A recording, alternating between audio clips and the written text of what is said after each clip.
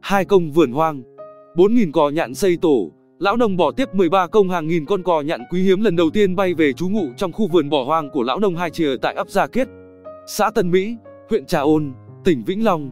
Ảnh Chí hạnh hàng ngàn cánh cò nhạn quý hiếm lần đầu tiên bay về trú ngụ trong khu vườn bỏ hoang của lão nông Hai Chìa tại ấp Gia kết xã Tân Mỹ, huyện Trà Ôn, tỉnh Vĩnh Long. Theo vợ chồng lão nông Lê Văn Chìa, thường gọi là Hai Chìa, 75 tuổi, ngụ ấp Gia Kiết, xã Tân Mỹ, huyện Trà Ôn, tỉnh Vĩnh Long, đàn cò nhạn, hay còn gọi là cò ốc. Trên dưới 4.000 con xuất hiện trong khu vườn bỏ hoang của ông từ Tết Nguyên đán cho đến nay. Ban đầu một nhóm nhỏ cò nhạn bay về, từ từ chúng kéo về ngày một đông hơn. Có lúc mỗi ngày bay về 3 trừ 4 đợt, dập kín trời, đếm sơ sơ cũng trên dưới 4.000 con, ông Hai Chìa kể. Trước đây, tuổi trẻ online từng thông tin về lão nông Hai Chìa, người dám bỏ hoang khu vườn cây ăn trái rộng hơn 2 công đất để cho chim, cò trắng, công cọc, vạc về trú ngụ từ năm 2006 đến nay. Khi phát hiện cò nhạn về khu vườn, vợ chồng tôi bàn bạc bỏ hoang tiếp 13 công đất cây ăn trái còn lại cho chúng ở. Hiện tại, khu vườn chim cỏ đã rộng 15 công. Vì nạn săn bắt trộm diễn ra như cơm bữa, tôi xách xe chạy lên báo với xã, huyện và lên tận tỉnh. Sau đó, các đoàn công tác mới xuống tận nơi để xem xét tìm hướng bảo vệ chim quý. Ông Hai Chìa kể tiếp, cận cảnh cò nhạn quý hiếm trong khu vườn của lão nông Hai Chìa bỏ hoang dành cho chim cỏ ở. Ảnh Chí hạnh do chim quý lần đầu về vườn trú ngụ, sau giờ cơm chiều và khi bắt đầu trạng vạng tối là lão nông Hai Chìa ôm võng, mùng mền lùi thủi đi ra vườn nằm canh đuổi trộm.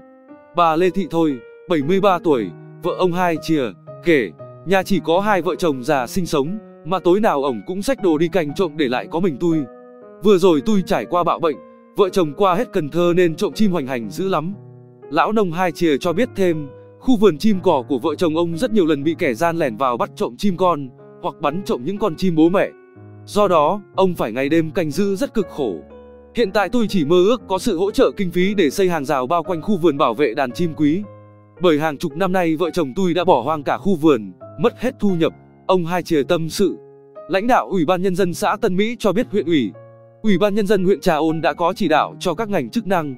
Trong đó có lực lượng công an thường xuyên theo dõi và hỗ trợ lão nông Hai Chìa bảo vệ đàn cò nhạn quý hiếm trước nạn săn bắt trộm. Bên cạnh đó, sắp tới Ủy ban Nhân dân xã cũng sẽ tổ chức tuyên truyền cho người dân địa phương biết cò nhạn là chim quý hiếm, có trong sách đỏ và nghiêm cấm săn bắt.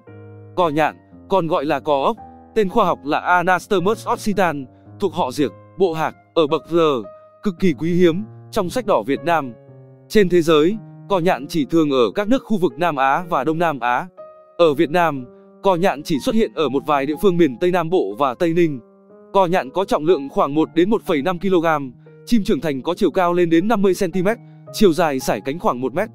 Loài chim này có đặc điểm sinh sống định cư, tuy nhiên khi vùng sinh sống, nơi kiếm ăn bị thu hẹp thì chúng di cư đến vùng khác thuận lợi hơn. Thức ăn chủ yếu của loài chim này là ốc, các động vật thủy sinh như ếch, nhái, tôm, cua và côn trùng. Một số hình ảnh đàn cò nhạn quý hiếm lần đầu xuất hiện tại Vĩnh Long. Sau bữa cơm chiều cùng vợ, lão nông Hai Chìa sẽ sách võng, mùng mền ra khu vườn để canh trộm săn bắt chim quý.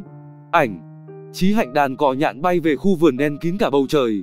Ảnh Chí hạnh cò nhạn chia từng tốp, hạ cánh xuống khu vườn của lão nông Hai Chìa. Ảnh Chí hạnh một tốp cò nhạn khác bu kín ngọn cây. Ảnh Chí hạnh theo ông Hai Chìa, cò nhạn thường ngủ trên ngọn cao nhất, sau đó là cò trắng, cồng cọc và vạc xếp theo từng lớp bên dưới. Ảnh Chí hạnh cò nhạn bay về khu vườn dập trời sau một ngày kiếm ăn. Ảnh Chí hạnh cận cảnh một con cò nhạn trưởng thành. Ảnh Chí hạnh nguồn báo tuổi trẻ.